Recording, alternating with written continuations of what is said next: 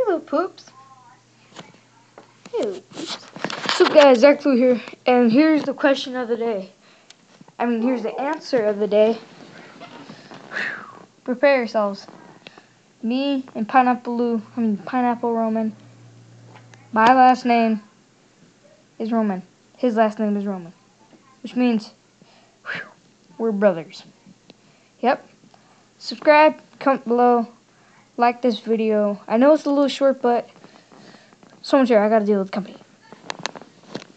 See ya. See you by the camera, poopers.